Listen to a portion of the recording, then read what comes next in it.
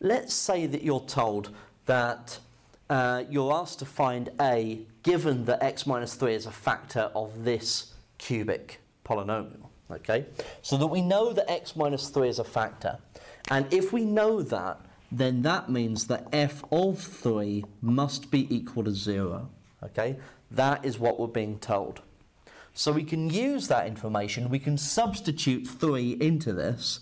So we're going to get 3 cubed, take away 2 lots of 3 squared, plus a lots of 3, so 3a plus 1, and that has got to be equal to 0.